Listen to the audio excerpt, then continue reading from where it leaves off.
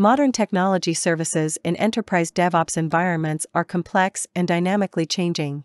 It is a challenge for site reliability engineers, SREs, to keep their skills current to match the rapid pace of change. This demonstration shows how AI and automation can assist SREs to manage modern technology services, reducing some of the strain on maintaining current knowledge. This is our application hosting environment.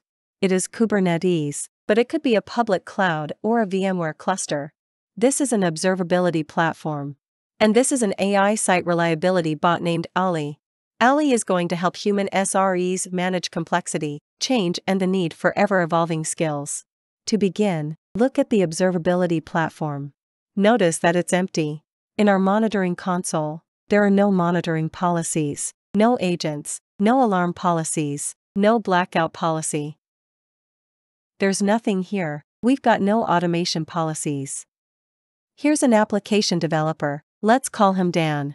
Dan has built a new application called Easy Travel. He is going to deploy Easy Travel to our Kubernetes cluster. Dan's mandate is to move faster and innovate. He's using open source technologies. He's using things that make his life easier as a developer. That doesn't make life easier for the operations manager or the site reliability engineer. In fact, it's probably going to make their jobs harder because he's going to be using some technologies that they've never touched before. After Dan deploys Easy Travel, Ali responds. What does she do, and what are the results? Ali is continuously inspecting the Kubernetes cluster, trying to understand what's going on. She realizes there's a brand new app out there that wasn't there a minute ago. She doesn't know much about Easy Travel, but she knows our team needs to know about this brand new thing that just got deployed because we don't see it in our observability platform. Ali takes a model of easy travel and she puts it in our observability platform. We can see it now. We're not doing full management or monitoring yet.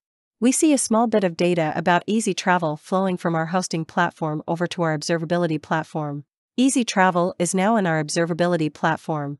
Our operations teams and SREs just see basic information. It's on a Kubernetes cluster, has an IP address. There's not a lot that they can tell about it at this point. The traditional approach at this point would be for them to try and figure out what it is and what they need to do to manage it. With predictive service ops, they don't need to do this. They can ask Ali to manage it. They select AI management and easy travel is now being managed by Ali. She's now on the case. Ali does a deep inspection of easy travel. She looks at the different technology components and tech stacks that make up easy travel. She sees it has Redis, PostgreSQL, and Kafka. The operations manager and SRE may not know anything about these technologies. They don't need to. Ali is going to build what are called knowledge modules about that technology stack, and then she's going to take those knowledge modules and train our monitoring agents how to monitor that technology. If it's Kafka, for example, she understands what it takes to monitor Kafka, and she's going to go configure it so that now our agents also understand. She's teaching our agents how to monitor that particular technology. She has insights as well.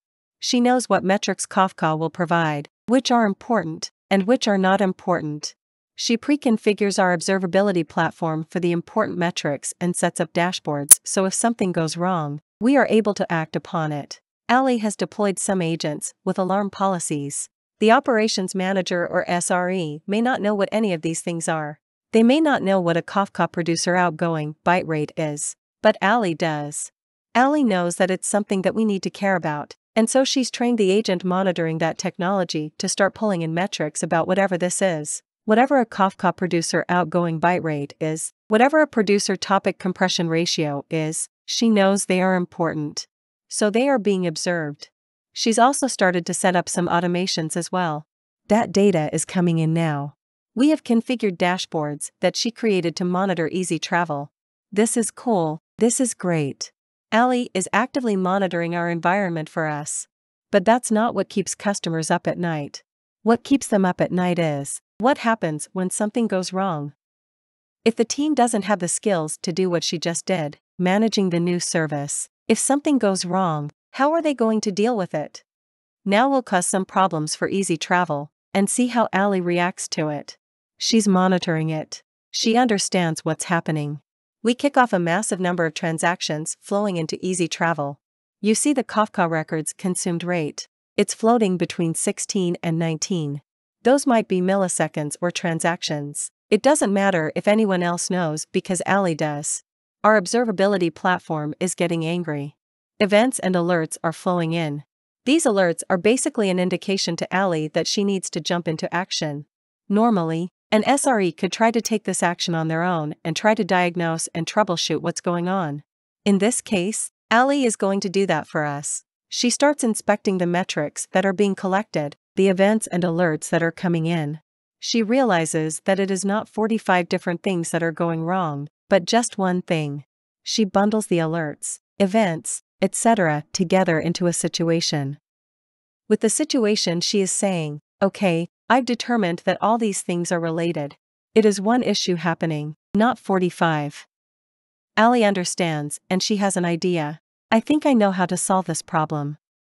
She jumps into action and expands the capacity of whatever microservices are serving that environment, and she sees that situation go away.